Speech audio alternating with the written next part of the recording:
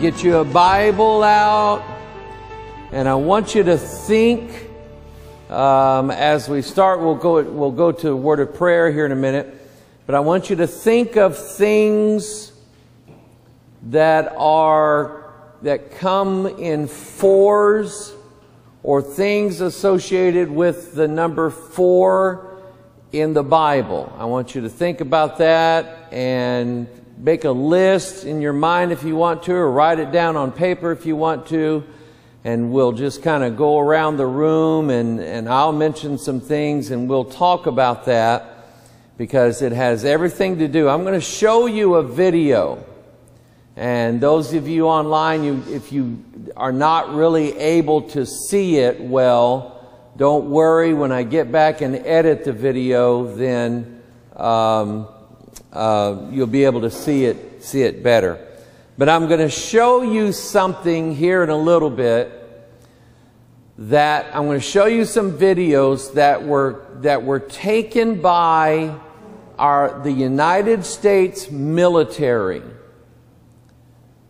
of flying craft that defy the laws of physics. Okay, does everybody understand what physics is? Okay, like this is gravity. All right, and when you get in your car, everything that we have that moves in this world, that man has built, takes something and puts it into a motor and pushes something out the backside, and that's how we propel things like cars and airplanes and jet engines and trains and things like that, okay? But I'm going to show you some things that are going to defy those laws. When something flies through the air, what's the, what's the biggest thing that it has pushing against it? Air. Okay? When something is going through the water, like a submarine, what's the, what is it that's pushing against a submarine that keeps it from going a thousand miles an hour? Water. Okay? So I'm going to show you a video clip of some vehicles that defy those physics. They can go through water and the water does not react to it going through it. Like if you throw a stone in a pond and it makes a splash, the water doesn't react that way to these vehicles. And then tonight I will try my best to explain why. This is one of the hardest, most difficult teachings that I have is explaining what I call the fourth dimension. Okay? Let's go to prayer. Father, we love you. We thank you, Lord, for gathering us together. We thank you, Lord, for allowing us to be online tonight. I believe that was your will. And I pray, Heavenly Father, God, that you would uh, guide us as we go through your word. Open up our minds. Show us great and mighty things that we know not, the way Jeremiah said. And I pray, dear God, that that through what we learned tonight, we would understand better the things that happen in the Bible, the miracles, some of the miracles that were done in the Bible, we would understand them better. Bless your word tonight. Teach us great and mighty things, we pray in Jesus' name. And all God's people said, Amen. All right. Now, who's got a list of things that are like four in the Bible, or it could be 40 or 400 or 4,000 or 4 million or 4 billion or what? Kevin? Uh, okay, there you go. That's a good one. That's I'm going to use that one. What else? What did he say? Width, breadth, depth, and height. But I said them slower and better than he said them. So, yeah. Ephesians 6.12. Ephesians 6.12. Principalities. Principalities, Rulers powers, against rulers of the darkness of this world and spiritual wickedness in high places. There's a reason why there's four of them. Okay? Who's got another one? Yeah. Exactly. Four gospels. And what are the four gospels about? Who, let me say, who are they about? And where did he come from? Oh, this is an easy one. Where did Jesus come from? Heaven. And in heaven, there's a city called Heavenly Jerusalem uh, in Galatians 4. And then in Revelation, it, there is a new Jerusalem. How many walls does it have? Four. Okay? And that, that means something. It represents something. So somebody give me some, some more. Things with four, 40, 400. Okay, it rained. Why does, now, think about this question. If it rains for 40 days, isn't it obvious that it would, would rain for 40 nights as well? So why does the Bible have to tell us it rained 40 days and 40 nights? I think there's a reason. There, listen, there's a reason for every word in this book. There's a reason why God said it the way He said it. Give me some more. You're doing pretty good. The four horsemen, exactly. We have the four horsemen in Revelation chapter 6. In the book of Zechariah, we, ha- we have four chariots with horses on them. And what did God say those four chariots and horses were? Does anybody remember? No, that's in Revelation chapter, that's in Revelation chapter 6. Turn to, turn, let's go to Zechariah. Let's find out what he said. Is it Zechariah or Zephaniah? I get the two confused all the time. Ze- Zech and Zeph. Let's see here. If, we find it in Zechariah, then we'll know it's in Zechariah. If we don't find it in Zechariah, we know that it's in Zephaniah. Yes. Look at this. Zechariah chapter 6. In the first chariot were red horses, second chariot, black horses. The third chariot, what were we talking about last night? Chariots. Okay? So these chariots are not made of wood and metal wheels and motors and engines. They're not made of that. These chariots are made of something different. Uh, and the third chariot, white, white horses, and the fourth chariot, grizzled and bay horses. Then I answered and said unto the angel that talked with me, What are these, my Lord? Now look at that next verse and find out what they are. Four spirits. These chariots are four spirits. So now, let's take that and think about this for a minute. What we talked about last night, the idea that these things flying around in the sky that people are seeing, they're not made of plastic, they're not made of um, motor parts, they're not just machines. What are they according to the Bible? Spirits.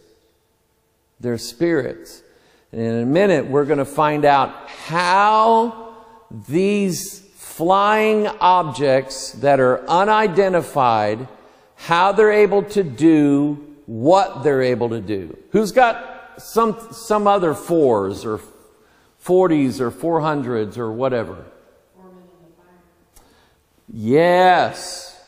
Four men in the fire. And would you say that those four men defied the laws of physics inside that fiery furnace? Would you say that?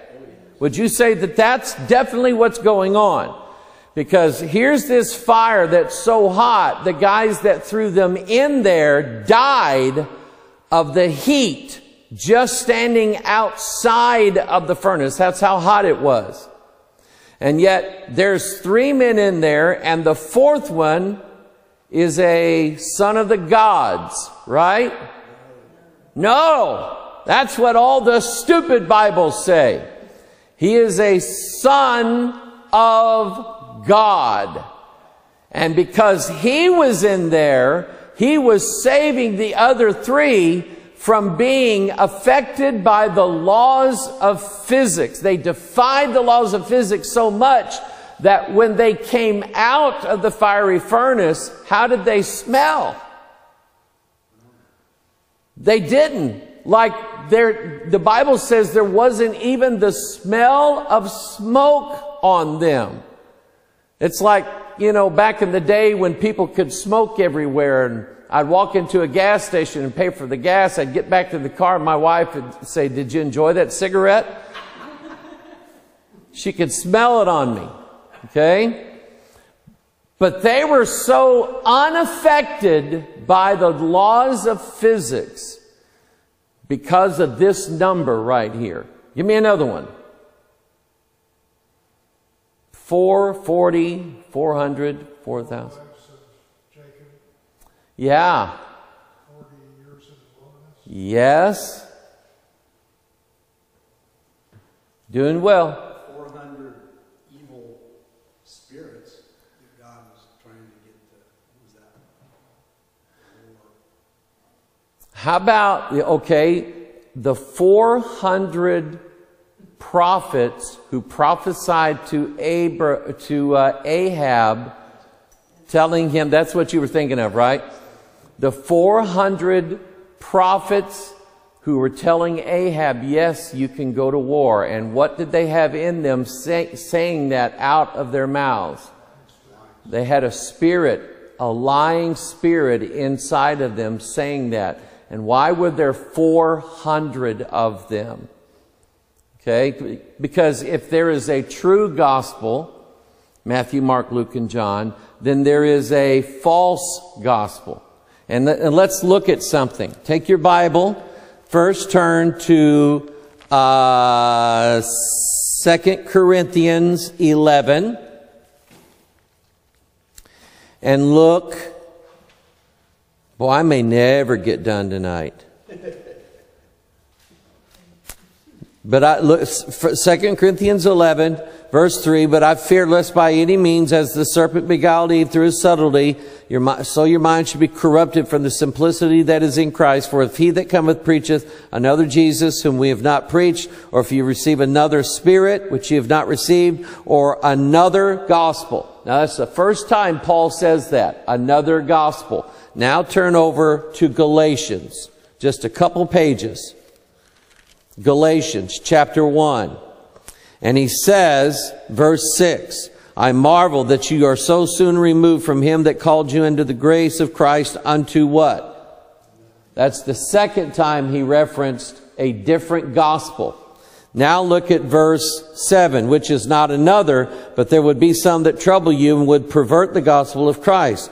But though we or an angel from heaven preach any other gospel, that's the third time he mentions it, unto you than, than that which we have preached unto you, let him be accursed. At verse 9, as we have said before, so say I now again, if any man preach any other gospel unto you, that's the fourth time he says it. There are four times that the apostle Paul, the Bible, references another gospel, another gospel, any other gospel, any other gospel. Four times. And that goes along with those 400 prophets who prophesied falsely to Ahab and what was the result of their prophesying to Ahab? What happened to Ahab?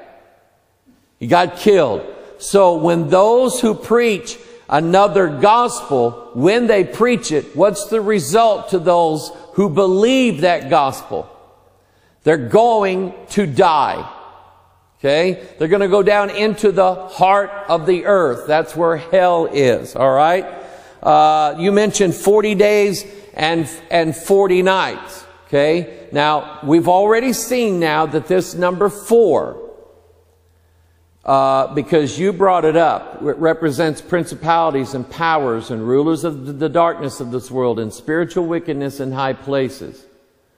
So why did it rain 40 days and 40 nights? Because it's a prophecy of a future event that has to do with the number four and what it's related to. And what it's related to is principalities, powers, rulers of darkness, spiritual wickedness in high places. So I mentioned last night that God is going to kick out of heaven a third of the angels. I didn't mention this last night, but we know in Revelation 9 that God is going to release a horde of angels, evil angels, out of the bottomless pit in Revelation 9, correct? Okay, so during the 40 days and 40 nights in the days of Noah, where did all that water come from? Two places. It came down from heaven, it fell down from heaven, and it came up from the lower parts of the earth. And that is exactly where the devils are coming from. In Revelation 9, they're coming up out of the heart of the earth. In Revelation 12, they're coming down from the heaven. And that's why the Bible's telling you that it took 40 days and 40 nights. They're opposite of each other, but that number four is showing you that this is a, an event that's going to take place that's going to involve the, the takeover of this world by spirits. How many kingdoms did Daniel speak of based upon Nebuchadnezzar's dream. Four. Turn to Daniel 2. Man, I'm, I'm spending some, I'm spending a lot of time just setting up for the, I've got to the presentation yet. But I want you to, I, I want you to, when you see this, I want you to get it. I want you to understand it. So Ezekiel, Isaiah, Jeremiah, Lamentations, Ezekiel, Daniel, chapter 2. First of all, um, how many counselors did Nebuchadnezzar have according to Daniel 2 verse 2?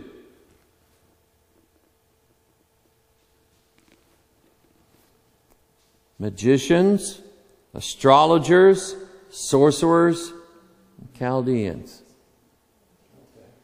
And were they lying to him? Sure, they were. And then later on, how many of God's men prayed that God would give the understanding of Nebuchadnezzar's dream so that they wouldn't get their heads cut off? Daniel, Shadrach, Meshach, and Abednego. Because God's four are always better than the devil's four. Isn't the real gospel better than, let's say, Ellen White's gospel? You know who Ellen White is? She's the woman who received from an angel from heaven a different gospel. An angel from heaven showed her that the fourth commandment still had to be obeyed or you cannot go to heaven. So you must go to church on Saturday. That was the gospel that she received from another, from an angel. And is that gospel blessed or cursed? It's cursed. You see, our gospel is better than their gospel, isn't it? How about the gospel of the Mormon church? Is our gospel better than an angel Moroni that come down from heaven and showed Joseph Smith where a secret book was written in a language that nobody knows and he put on these secret glasses and was able to decode the writing on the sacred golden book. And only he knows what it says. And he wrote it all down called it the book of mormon. Is our better is our gospel better than his gospel that was brought by an angel? Yes. Or how about the the gospel of the catholic church that's delivered by multiple angels, Marian apparitions, saints who are appearing to different people and telling them to pray the rosary every day, to take the Eucharist every day, to eat the Mass every day. And if you keep doing that, then God will bless you and your time in purgatory will be cut in half and you won't have to spend as much time in purgatory. Is our gospel better than their gospel? Amen. It is. Okay? So now, did we cover, did we cover enough fours in the Bible? You think you understand what, what the gist of it is? Okay? Now, um, let's do this. Uh, notice that in Ezekiel 1, let's turn our Bibles there. We were in Daniel, so let's go to Ezekiel 1.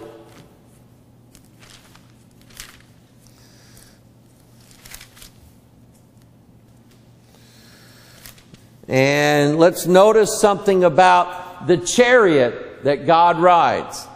Also out of the midst thereof came the likeness of how many living creatures? Four. Four living creatures. And this was their appearance. They had the likeness of a man. I have a laser on here, I think. I could probably kill you with it. This was their appearance. They had the likeness of a man, and they everyone had four faces. Notice the number four. And they had how many wings? Four wings. And their feet were straight feet. The sole of their feet was like the sole of a calf's foot, and they sparkled like the color of burnished brass and they had the hands of a man under their wings on their, how many sides? Four sides, and they four had their faces and their wings. And their wings were joined one to another, and they turned not when they went. They went every one straight forward. As for the likeness of their faces, they four had the face of a man, the face of a lion, and on the right side, they four had the face of an ox. On the left side, they four also had the face of an eagle. Thus with their faces and their wings stretched upward, two wings, every one were joined one to another, and two covered their bodies, and they went every one straight forward, whether the Spirit was to go, they went, and they turned not when they went. As for the likeness of the living creatures, their appearance was like burning coals of fire, because what are angels made of? Fire. He's made his spirits out of fire. That's their substance. That's their that's like we're made of carbon based. We're carbon based life forms. We're made out of dirt.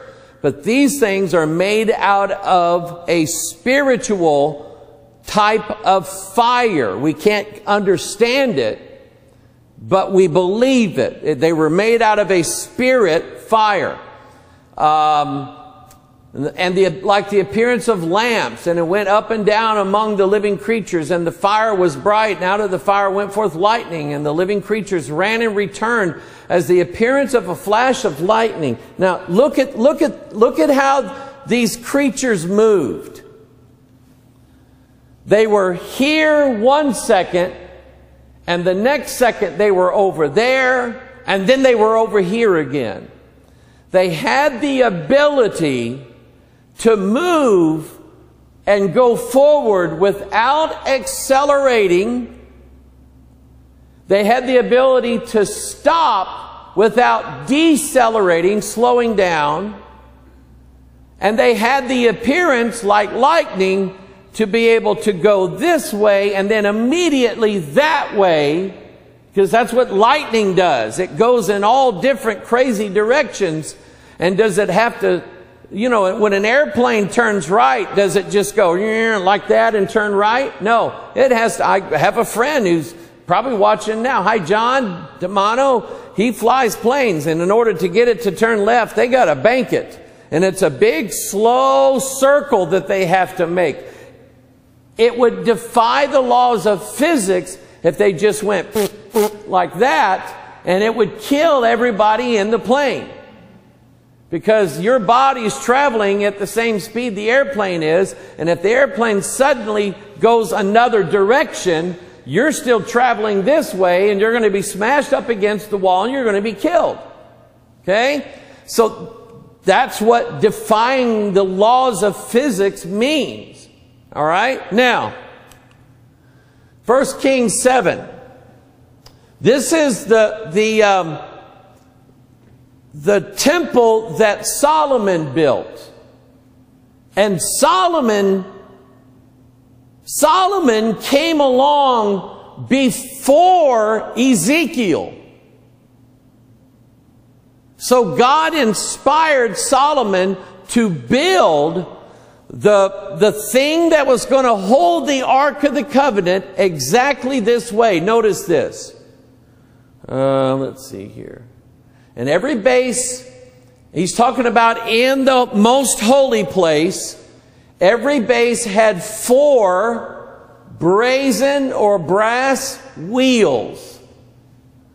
The thing that's going to hold the Ark of the Covenant in the most holy place, Solomon was given instructions by the Holy Spirit to make it a chariot.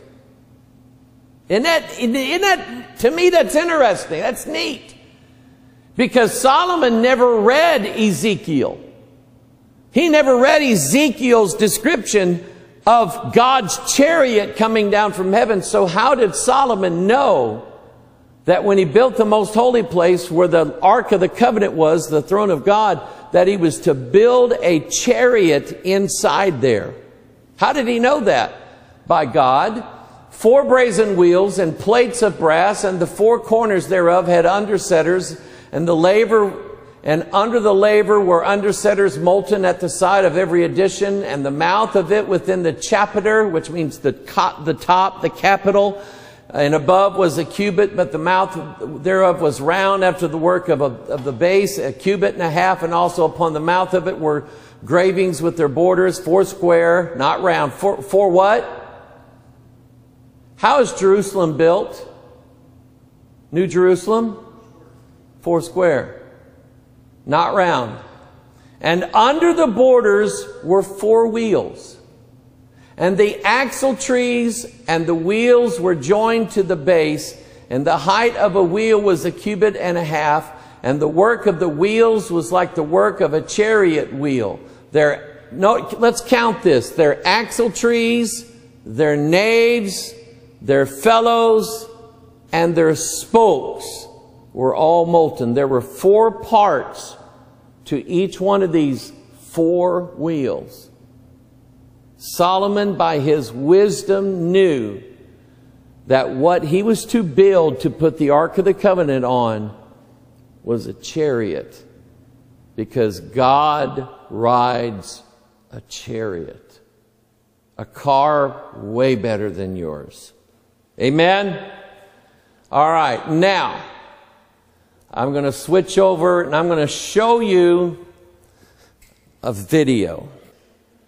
What you're going to see, and I'll try to describe this as we go. This was on Fox News. This video was taken from a United States naval ship, and this is an unidentified flying object or an unknown aerial phenomenon Notice how it just went under the water without making a splash. Our own Navy captured this thing on, on FLIR video, forward-looking infrared video. And as the sailors are talking, at one point they say splash, which means that it went into the water. But when it went into the water, it didn't make a splash. It went into the water and disappeared. And they don't know to this day how they did it. This is relatively new video. This came out this year. Okay?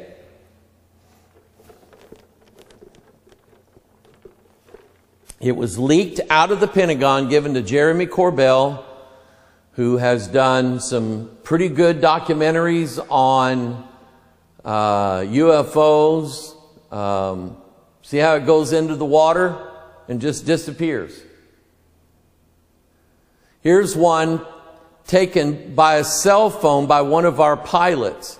These triangle shaped UFOs, there were about 20 of them, and they were following this United States Navy ship for days. And they were capturing them. Now, this video is what I want you to see. Down in Aguadilla, Puerto Rico, Puerto Rico is part of the United States. There is a there is an uh, an air base there that belongs to the Department of Homeland Security.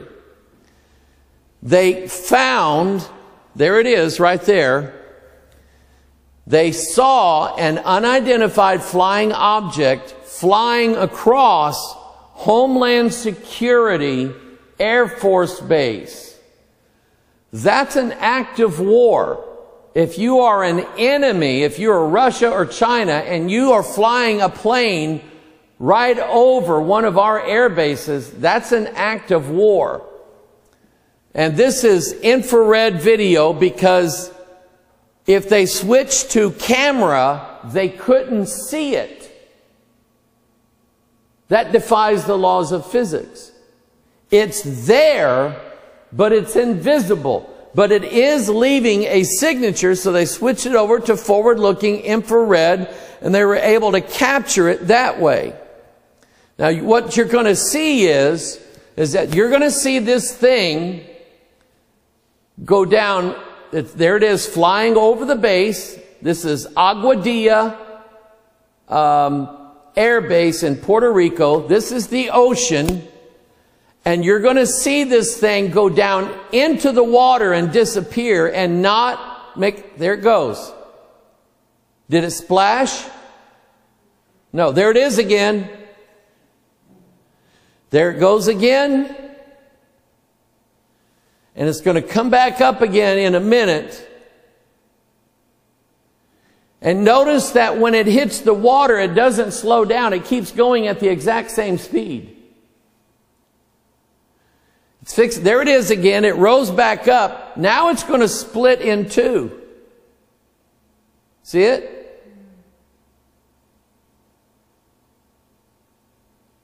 Now there's two of them. One's gone into the water. This one's going to disappear into the water, never to be seen again.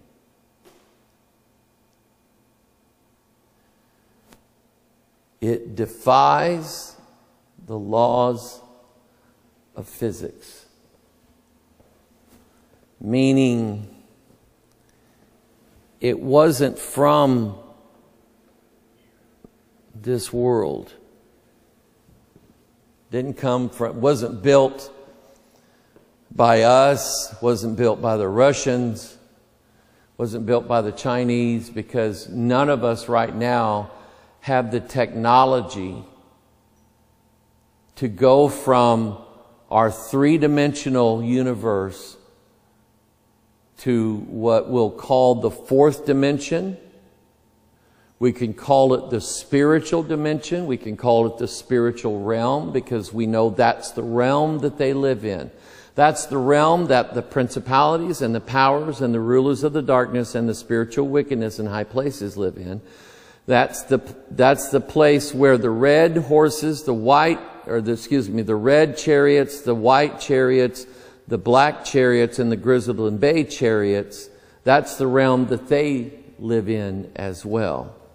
And we're going to see some other things that are in that realm too. Now, so Daniel says concerning the fourth kingdom. So everything that we've learned so far about this number four, and when we see a fourth and final kingdom, Should we believe that that fourth kingdom is a kingdom of human beings? Like Russians or the Chinese or the, hey, the Canadians, they could come after us at any day now. We could fight a war with the Canadians. Or would they come from some other place? Take your Bible. You take your Bible. You're in Ezekiel. Take your Bible and turn to um, Ezekiel 37. No, Ezekiel 30, 30, Ezekiel 38.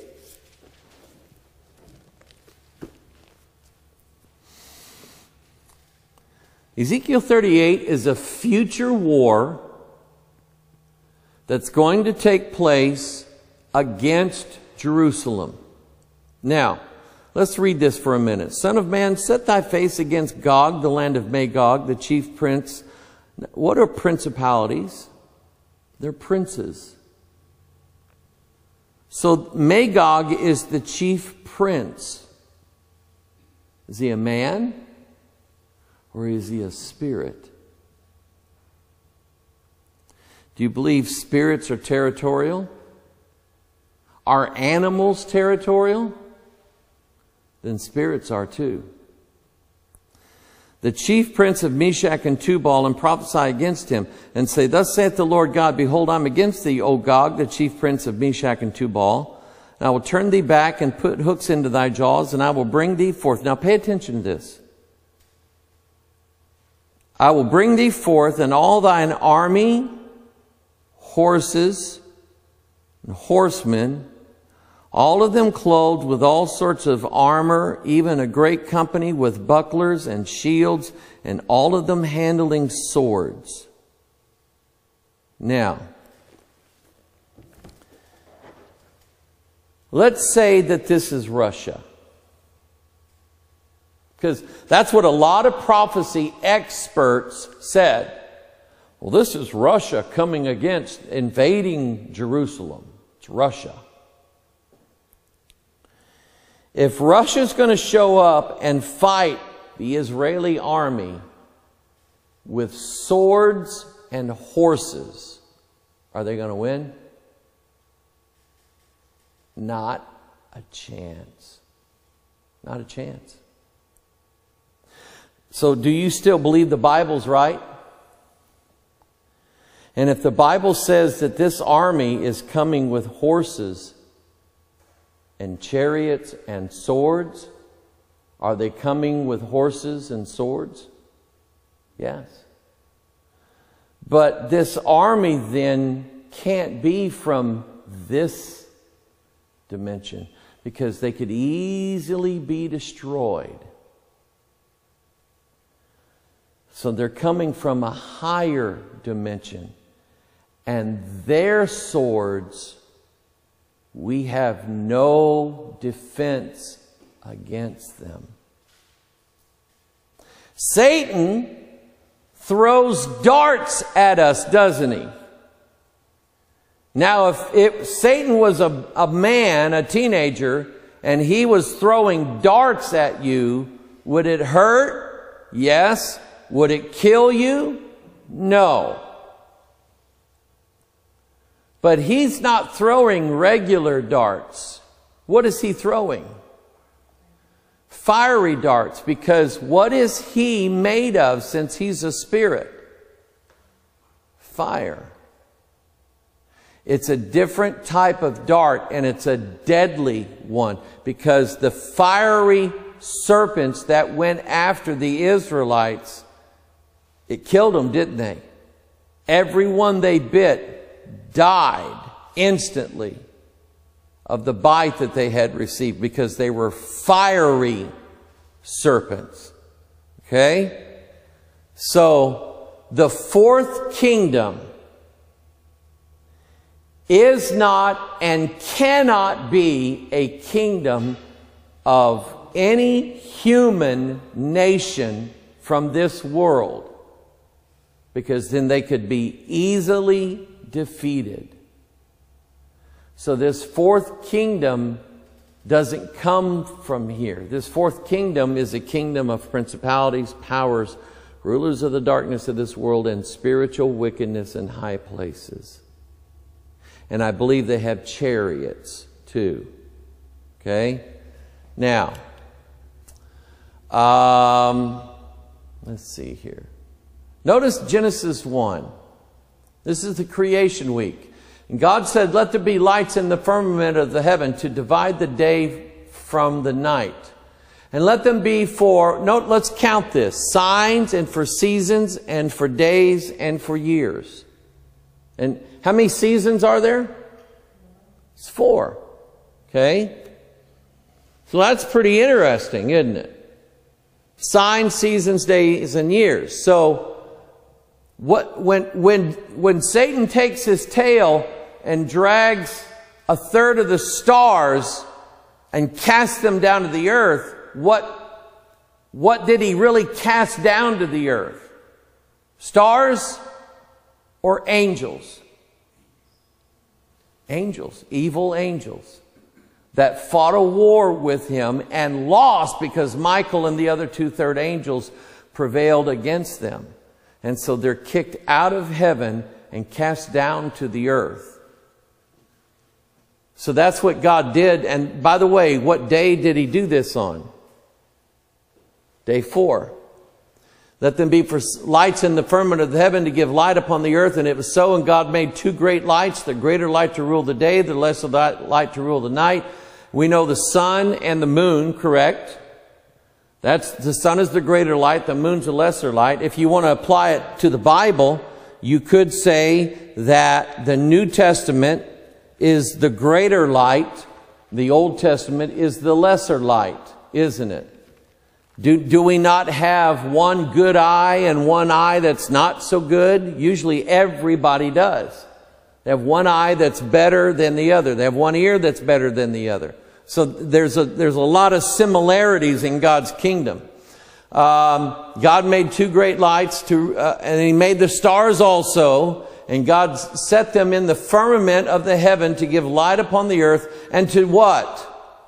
Rule over the day and over the night and to divide the light from darkness. And God saw that it was good and the evening and the morning were the fourth day. So on day four, God created things that were for signs, seasons, days, and years. And it just so happens that these things that He created, the stars that are all in the heavens, they're innumerable. We have no idea how many of them there are. And that's the same number as the angels. They're innumerable. And stars and angels in the Bible are always the same thing. Always. When you see stars, you think angels. When you see angels, you think stars. Because that's what they are. Now, Ephesians 3. This is what uh, Kevin was, was mentioning a while ago. And this is how, this is, this is how I caught on to this. Because I was studying, I was studying to, to write that first book I wrote, the, the, by divine order. And I was looking for things of the number three. And I remembered that there was a verse somewhere that Paul wrote where he mentioned what I thought were three dimensions. And I was going to write this in my book on the number three. So I pulled up my, back then I was using Windows 98 and I was using uh, Quick Verse 3.0 and I pulled up quick verse and I looked for like depth and I found it in Ephesians and I, and I started counting that, that we, we may be, able to comprehend with all saints what is the breadth and length and depth. And I'm going, there's three dimensions. And then I went, uh-oh, there's four. And it threw me off. And I'm going, there's this way and this way and this way. But where is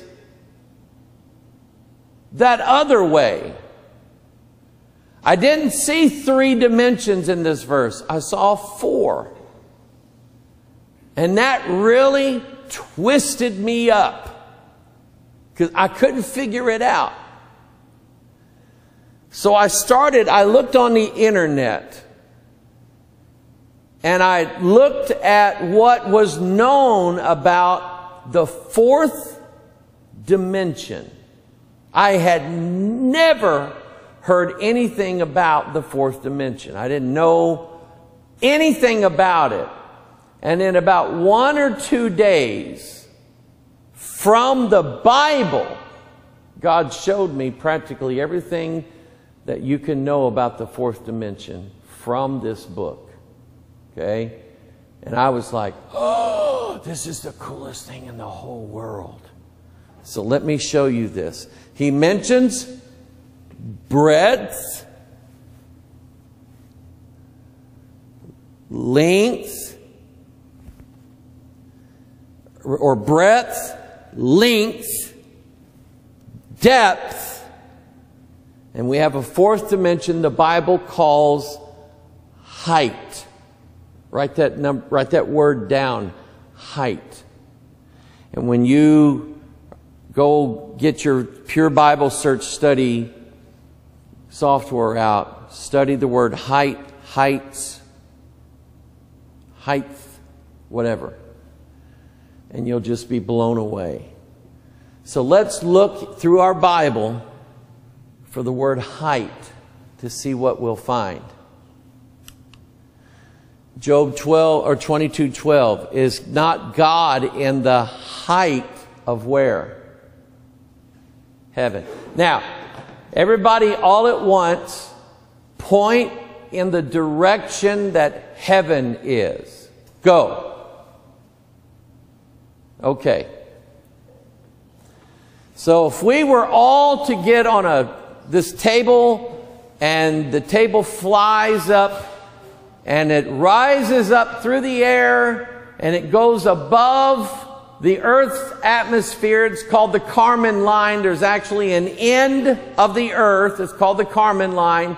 And that's where the Earth ends because there's no more air. And it, liter- it literally is a legal jurisdiction because the United States owns the airspace over its own country until it gets to the Kármán line. And then the United States has no say about what flies over the United States above the Kármán line. We can't tell Russia, we don't want you with satellites flying over the United States. We can't tell them that because we don't own space. We don't own the space above the earth. So now if we're up in space, let's pretend we're on Apollo 11 and we're on our way to the moon. Which way is up? Which way is up? It's exactly right. Up is everywhere. So, where then, once we leave the realm of the earth, where could we say heaven was? We wouldn't know. It's in a direction that we cannot fathom and we cannot comprehend. But the Bible does tell us that it, it is height. And God who lives there is the most what? High. What does Lucifer want to be? I will be like the most high. Is not God in the height of heaven? Behold the height of the stars, how high they are. So, two things we know. God lives there, and all of the angels live there. They dwell in the height, in the fourth direction, the fourth dimension, the spiritual plane, the spiritual world, the spiritual whatever you want to call it. Both God and the angels dwell there. Does that make sense to everybody? Do we dwell there? No, because we're hindered by three dimensions. Okay? So now watch this. For he hath looked down from the height of his sanctuary. Where's God's sanctuary? It's in the height. It's in the fourth dimension. From heaven did the Lord behold the earth. See how it ties them together? Height. It did it in this verse here too. The height of heaven. It does it here in this verse. The height of his sanctuary from heaven did the Lord behold the earth. So there is the first heaven, which is the atmosphere, the second heaven, which is the cosmos, the space where the moon is, and then there's the third heaven. So from where we're standing right now, how many places are there? There's earth, there's earth, the first heaven, the second heaven, and the third heaven. It's in the, God lives in the fourth place above us. Okay? Praise ye the Lord, praise the Lord from the heavens, praise him in the heights. There it puts them together again. Proverbs 25, 3, the heaven for height of the, and the earth for depth, and the heart of kings is unsearchable. Heaven for height is unsearchable. We cannot fathom where heaven is or how to get there. This is why we need us a Moses to lead us into the promised land, a Joshua to take us there, a Savior, Jesus, to show us the way because we don't know the way to get there. If we built the Starship Enterprise and had warp 10 capability, we would never be able to make it to heaven because we don't even know where it is. We just know from our standpoint it's up there and it's not down there. Again, the devil taketh him up into an exceeding high mountain. Now, I, I just think the words are there. I think God put the words there for a reason. An exceeding high mountain. The mountain exceeds what high is. And what did he show him when he got there? All the kingdoms of the world. And I believe it was all the kingdoms of the world, past, present, and future. Isn't that something? Okay. Meanwhile, back at the ranch. Yeah. Matthew 4 8. Again, the devil take, taketh him up He's talking about Jesus into an exceeding high mountain. The mountain exceeded high because he had to show him, I mean, can you climb Everest and see all the, see all the kingdoms around the world? No. So what kind of mountain is it that Jesus and the devil went up to where they could see all the kingdoms of the world. The flat earth people say it's, well, because the earth is flat, dude. But no. And I believe that he didn't just show him all the kingdoms of the world at that time. I believe he showed him every kingdom, past, present, and future. Because when you leave our three dimensional world, time, linear time, doesn't exist outside of our three dimensional world. Doesn't exist. Okay? So we're bound by, as you mentioned a while ago, the weak and beggarly elements. We're bound, we're bound by vanity. We're bound by time. We're bound by three dimensions. We're bound by gravity. We're bound by the laws of physics that are apparent in a three dimensional world. But if you're from the fourth spatial dimension, if you're from the spiritual realm, then you can see all the kingdoms of the world. And Luke says he showed it to them in a moment of time. Meaning, where they were, time didn't really exist the way it exists here. I think stuff like that is cool. I do. I love it. Now, Daniel 2, and the fourth kingdom shall be as strong as iron, for as much as iron breaketh in pieces and subdueth all things, and as iron breaketh all these, shall it break in pieces and bruise. Whereas thou sawest the feet and toes, part of potter's clay and part of iron, the kingdom shall be divided, but there shall be in it the strength of the iron, for as much as thou sawest the iron mixed with miry clay, and as the toes of the feet were part of iron and part of clay, so the kingdom shall be partly strong and partly broken. Whereas thou sawest iron mixed with miry clay, they, they shall mingle themselves with the seed of men. And if you go to blueletterbible.org and look at all the modern translations of Daniel chapter 2, verse 43, they've messed with that verse to where it doesn't say anything anywhere near what the King James says. Doesn't that make sense?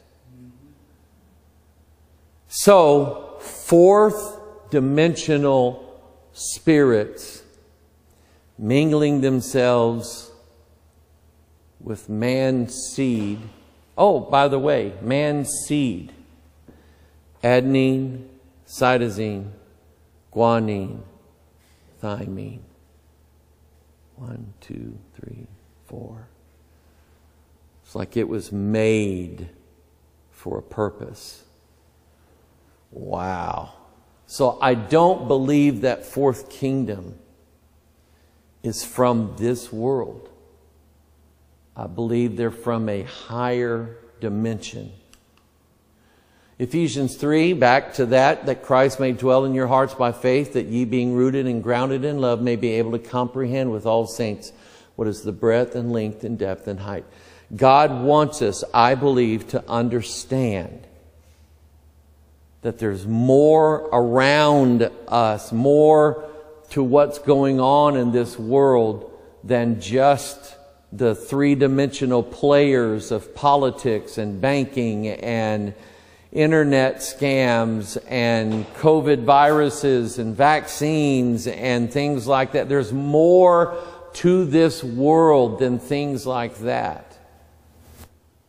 They're very deadly, evil, diabolical creatures that have powers that you don't have. So if Satan casts a fiery dart at you and you don't have a shield of faith against it, that dart is going to destroy your faith. Okay? I'm not as concerned, and this may, this may really burn some people. I'm not near as concerned about Fauci's needle as I am Satan's needle. I'm not supposed to be afraid of the one who can kill the body because let me let you all in on a little secret that I found in the King James Bible. We're all going to die. Right? Every one of us.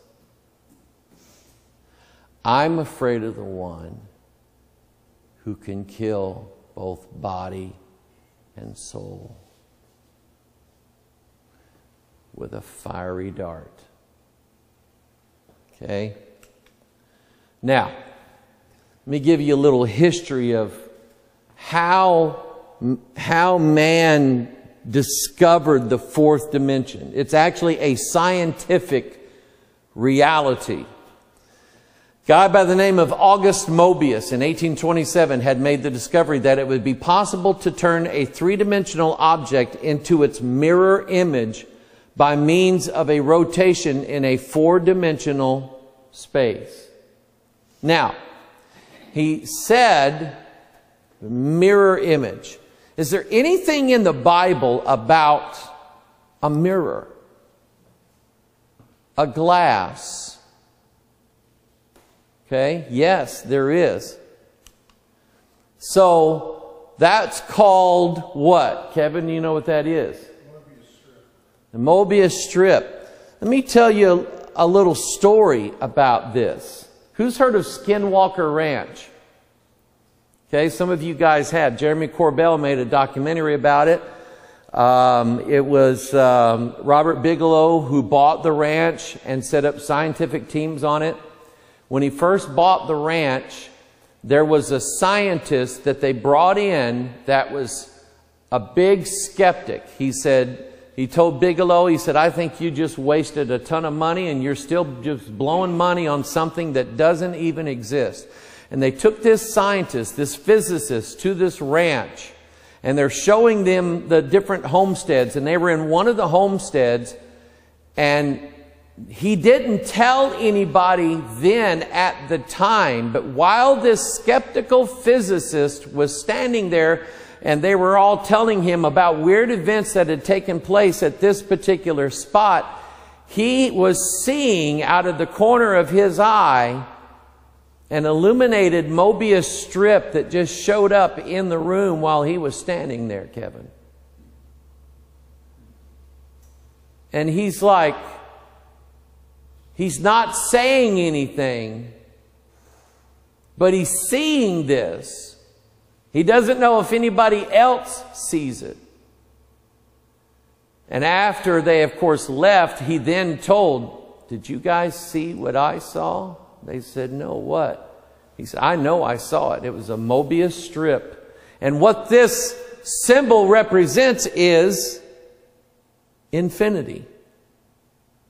Because it never ends. It's like the secret to eternity, or the secret maybe to eternal life. Then E.A. Abbott, a Victorian schoolmaster and clergyman who published in 1884 his famous novel, Flatland. Now, there is a three dimensional world and there is a two dimensional world. Okay? Do you see the image on this screen? The image on this screen is two dimensional. Because if I run my hand over it, I can't feel it. I can't feel the guy's face. And yet, my three dimensional hand is not in any way impeded or affected by this two dimensional world. You see, I can appear and disappear in this two dimensional world, can't I? Okay? I'm trying to show you something because this is going to get cool in a minute. I can affect this two dimensional world. But this two dimensional world has no effect on me whatsoever. I can become a temporary part, and if I'm a part of this two dimensional world, and this two dimensional world, let's say that a little, let's say that this guy's a real guy in a two dimensional world, and I put my hand over his eyes, he can't see all of my hand, can he? He can only see the part of my hand that touches the two dimensional plane of his existence. Is that why we could only, or Moses could only see God's backside? Could very well be. Could very well be. Okay? So we say stars are angels. Okay? But what is it that we can see of stars? Only points of light. So is it possible that there's more to these stars that we just can't see because we're not in their fourth dimensional world. Isn't that cool? Okay? Now, watch this. In a two dimensional world, or let's say in a three dimensional world, my three dimensional hand is casting a shadow. How many dimensions are there to that shadow? Two. Because if you were to come over here and try to feel my shadow up against the screen, you wouldn't be able to feel it, would you? So I want you to understand this. A three dimensional object casts a two dimensional shadow, doesn't it? So, what would a fourth dimensional object cast as a shadow in a three dimensional world? A three dimensional shadow. I want you to hang on to that thought because that's actually in your Bible. It is. Okay? Then, Charles Hinton, in his books, uh, The New Era of Thought in 1888, and the fourth dimension in 1904 theorized that the three dimensionality of space is a necessary condition of man's consciousness. However, it is necessary only to normal awareness. Altered states of consciousness, such as those experienced by mystics and psychics, are acquired four dimensional perspectives. Or, he didn't know this then, those who have taken psychedelics like LSD, or ayahuasca, they have four dimensional thoughts and they see into a four dimensional world. I, would like to hear what that was. I'm, I'm nosy. Have you, have you heard of Cliff High? No, huh?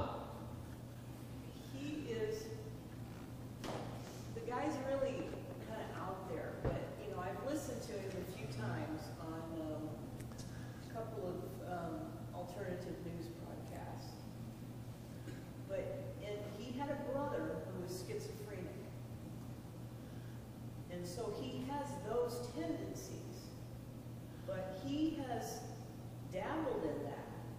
He's taken what did he say he took? He's done, well, he did ayahuasca, but he's done other stuff. Yeah. But he, he sees, specifically work for me. He, he sees into astral projection, but he also, when he said he was young, he talked to a being. Mm-hmm. From. Yes. From a different dimension. Exactly. And I found that so fascinating because I mean, you know, it's everything that, yeah. that, that you were talking about. But. Let, let me let me do this again. As I run my hand across this, can this two dimensional world stop me from moving through any part of this two dimensional world? Okay, so let's talk about people who say they have been abducted by aliens. They say these little gray beings show up in their room, elevate them up out of their bed take them through the wall of their house and up into a ship. How is that possible that a three dimensional object can pass through another three dimensional object? It's not.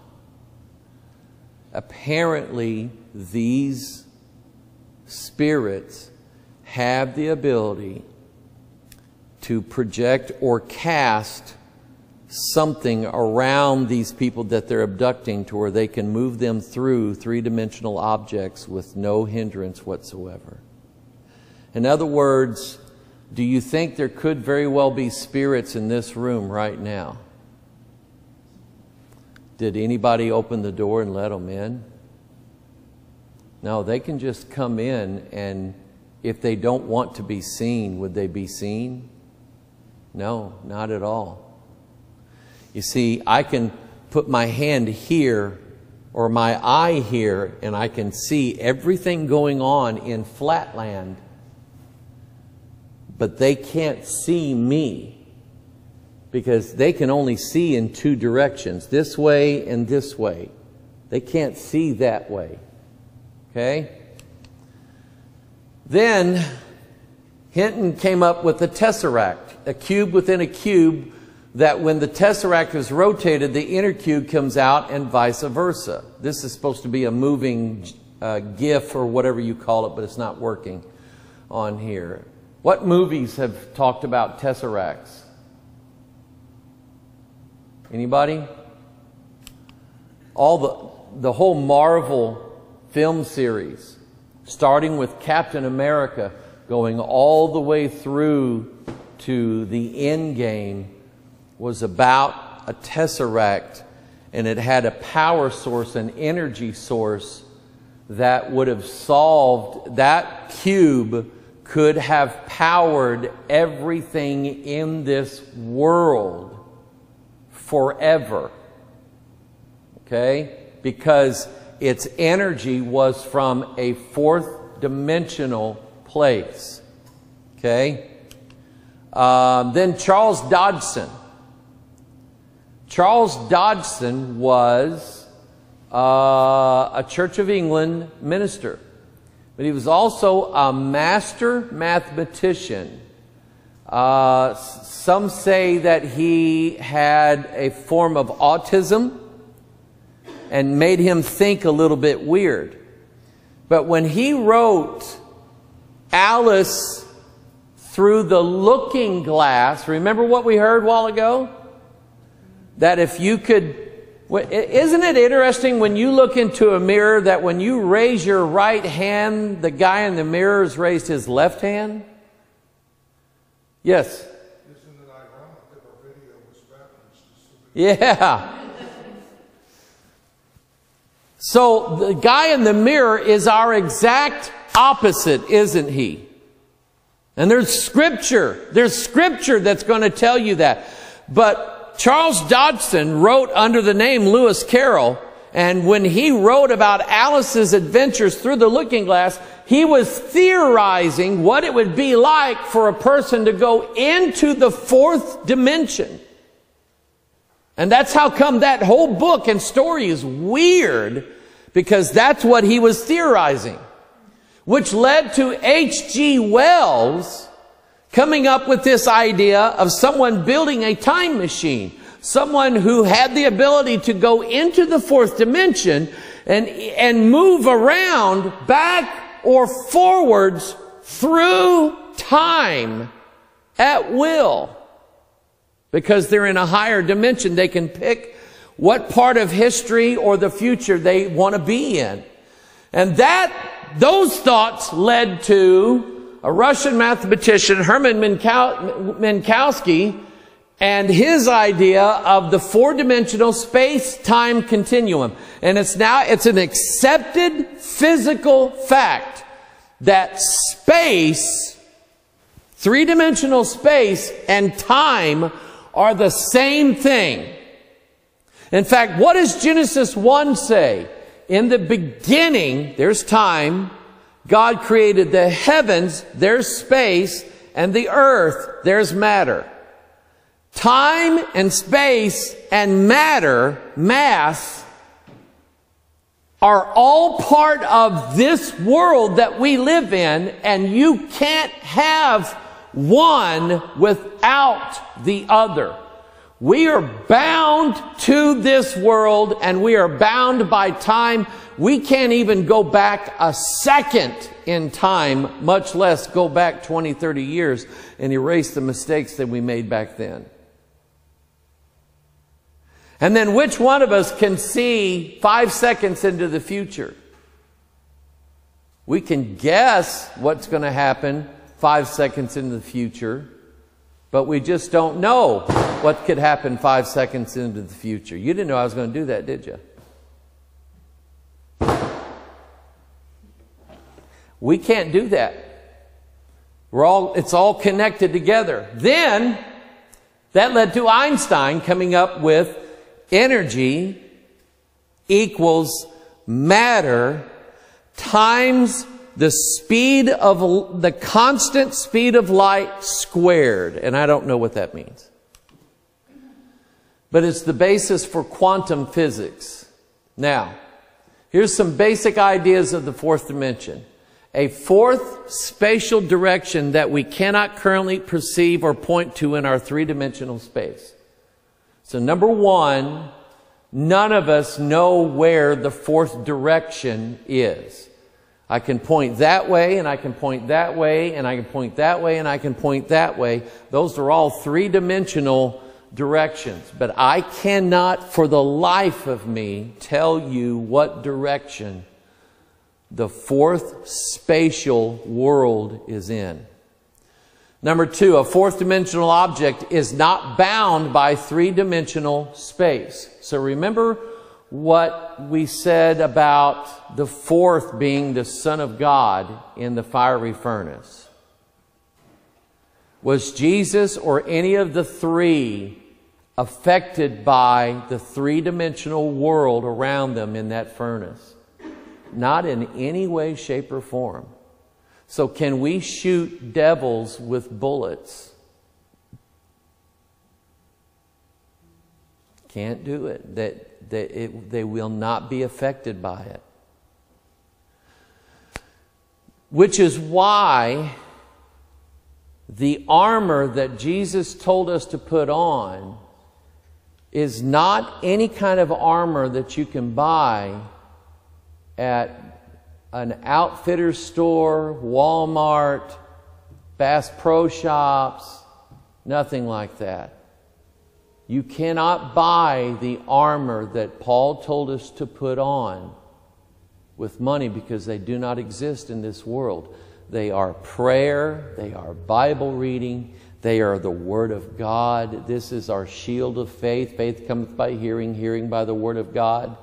Feed shot with the preparation of the gospel. The gospel is the, the Word of God. Helmet of salvation. We're saved by the Word of God. Everything about this is the Bible. And those who refuse to believe the words of this book, they're going to be destroyed by a much stronger army. Upon entering the fourth dimension, you become your opposite or mirror image. You become the opposite of yourself. The barrier between dimensions is likened to a mirror or a water surface. Who knows what scrying is? What is it?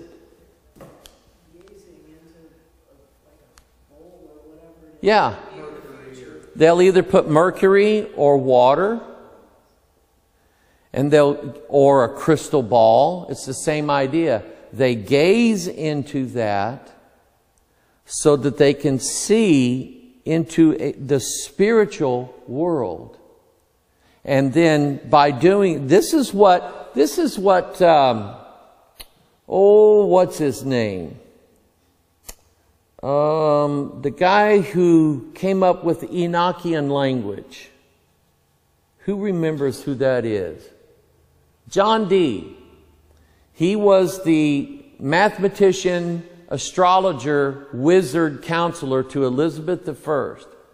And he was, him and another guy were scrying in a scrying bowl uh, full of mercury, and they were talking to angels. And these angels were telling them that the angels speak a language that nobody on the earth knows, and that if man could learn this language, man could use this language to create anything he wanted to, because that was the language that God used to create the universe. They're setting them up. They were setting them up. And Dee thought he had it, so he created what he called the Enochian language. Okay? Now, according to the Bible, what group is it that speaks a language that nobody knows? It's in Deuteronomy 28, and God said, Because you will not obey my statutes, then a nation shall come from afar, from the end of heaven, a nation whose tongue thou shalt not understand. He was talking about a spiritual nation that's coming. Okay? Um, a fourth dimensional object casts a three dimensional shadow. We've already seen that, right? So get, get ready for this. The first one. So then, the first one was for spatial direction that we cannot currently perceive. So then, after the Lord had spoken unto them, he was received up into heaven and sat on the right hand of God.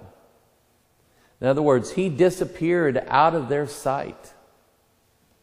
Okay? Because we cannot currently perceive or point to where Jesus, all we can do is go, he's up there. Okay? The second one, not bound by three dimensions. And we talked about the fourth is like the Son of God. So they were not bound by the three dimensional physical laws. That's why they did not smell of smoke. They were not burnt. They were not affected by the fire in any way. Now, let me tell you something. Those of you who are scared of the future, if God can save Shadrach, Meshach, and Abednego from a fiery furnace, is he going to save us too? Yeah. So, what are we worried about? I'm trying to get everybody that I talk to now to calm down and let you know God's got it all in His hand. And He always takes care of His people, doesn't He? After that, he appeared in another form unto two of them as they walked and went into the country, and they went and told it out to the residue, and neither believed on them. How did he appear? In another form. Because four dimensional objects can do that. Luke 24 30, and it came to pass as he sat at meat with them, he took bread and blessed it and brake and gave to them, and their eyes were open, and they knew him, and he vanished out of their sight. See, Jesus is still the Son of God who can appear and disappear at will because he's not from here. Amen? And then, and the fourth, what, what watch of the night? The fourth watch of the night, Jesus went unto them doing what?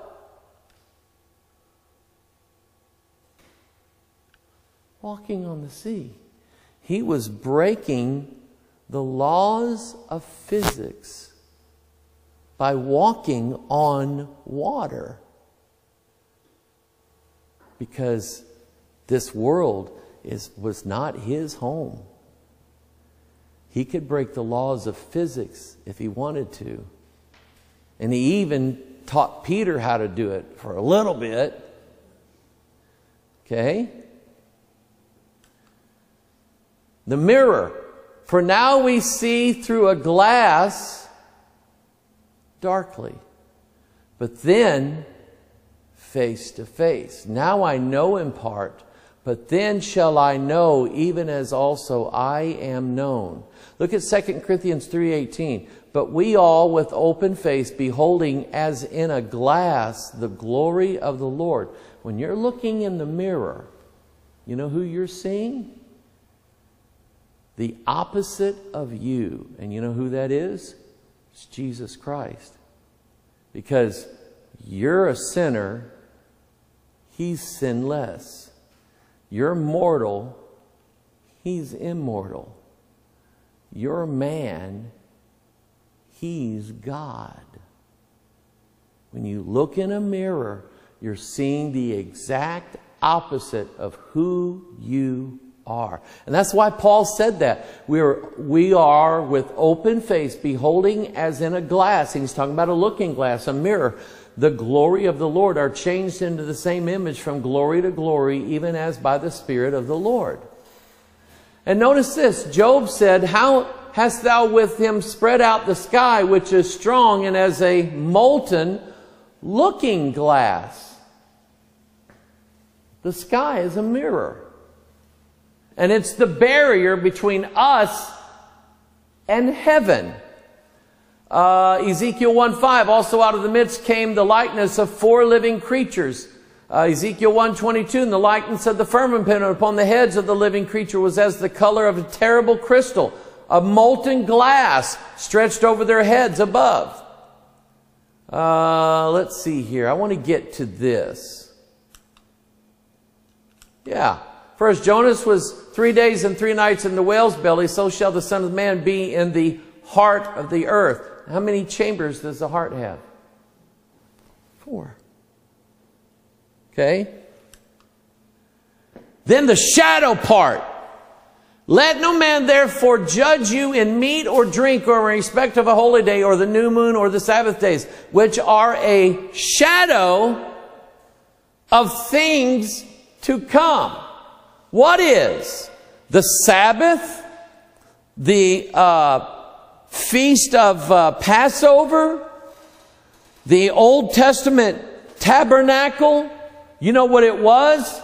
It was a shadow a three dimensional shadow of the real fourth dimensional temple of God that's in heaven.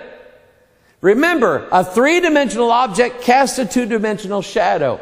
If it's a fourth dimensional object, then it casts a three dimensional shadow. And it, wouldn't it be silly if you walked up to me and I looked down at the floor and I saw your shadow and I started talking to your shadow? And then I said, Oh, I want to hug you. And I got down on the floor and I embraced your shadow. You'd think, Boy, you're stupid. It's the same thing as when people go back to the Old Testament and say, We need to keep the law in order to please God. Because everything back here was only a shadow of things that are in the book of Revelation. Look at this verse. For if he were on earth, he should not be a priest, seeing that there are priests that offer gifts according to the law, who serve unto the example and shadow of what kind of things? Heavenly things. As Moses was admonished of God when he was about to make the tabernacle, for see, saith he, that thou make all things according to the pattern showed to thee in the mount. Hebrews 10.1, for the law having a shadow of good things to come and not the very image of the things. So what? Let's say that, let's say that next week somebody finds the Ark of the Covenant that Moses made in the wilderness. Do you know what that would mean to us? Nothing. Because our Ark of the Covenant is up in heaven. And that earthly Ark of the Covenant is just a shadow, three dimensional shadow of a heavenly Ark of the Covenant. The one that has our covenant in it, which is the covenant of grace, not the covenant of works. So the law equals the shad, the Old Testament, the shadow, earthly things. The New Testament represents heavenly things. The Old Testament points to the gospel. The gospel does not point back to the Old Testament. And that's what all the Hebrew roots people say. Does anybody have any questions on the fourth dimension? So does it make sense now that these unidentified flying objects can be seen flying in patterns. David Fravor was the commander. You know who I'm talking about. He was on the USS Nimitz carrier group, and he's the one that encountered the Tic Tac UFO. And his response to that was, I want to fly one of those things. But he said that thing was, when he saw it with his eyes, he said it was like uh, somebody had teed off a golf ball in a tile bathroom. It was just bouncing all around, all over the place, doing this and that and the other. The, the, if that was a human inside of there, they would have been killed by the way that thing was moving. But because it was, that when they first noticed it, the radar technician saw it because their radar only goes up to 80,000 feet. When he saw it at 80,000 feet, he saw it go from 80,000 feet and in less than a second down to the sea. And he's like, there is no way that that just happened. It violates everything we know. You can't, we can't even fly a plane that fast down to the ground. Why? Because at some point the air is still pushing up against the plane. But this thing went from 80,000 feet down to sea level in less than a second. Why? Because it's not from this three dimensional space, it's from a spiritual place. And more than likely, it itself was a spirit. So now does some of that stuff make sense to you? Okay? Any questions? Fourth dimension, laws of physics, UFOs. I was looking at that Project Looking Glass, Yes. because the, the stuff I follow, they talk a lot about Project Looking. But I just saw on here, I was looking it up to see what it was, and it talks about that Bob Lazar, or whatever his name is. Yeah.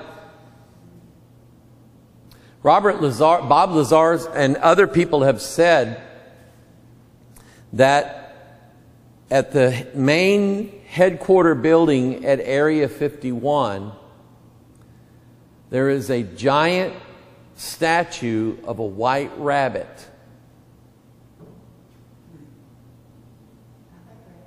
Yeah. But do you get it now? Because that white rabbit represents the rabbit from Lewis Carroll's, Charles Dodgson's Alice going down the rabbit hole into the fourth dimension. And whoever put that up there knew exactly that they were dealing with. You see, we, according to Lazar, he said we've got nine intact UFOs that we were trying to work on. One of them, he said they found in an archaeological dig. It had been there for thousands of years. And he said, our guys trying to fly it, we, we had, he said, this is back in the 80s, they couldn't figure it out. And he said, I'm looking at this thing, and he said, I get to look inside of it. And he said, again, I see no steering wheel. I see no computer keyboard. I don't see any wires. I don't see anything in this thing other than three little chairs and something that looks like they put their hands on. And all of a sudden, it just takes off for them because their minds somehow become one with that and it does whatever they want it to do. Weird stuff. But now you know the biblical basis for what they're able to do. All right?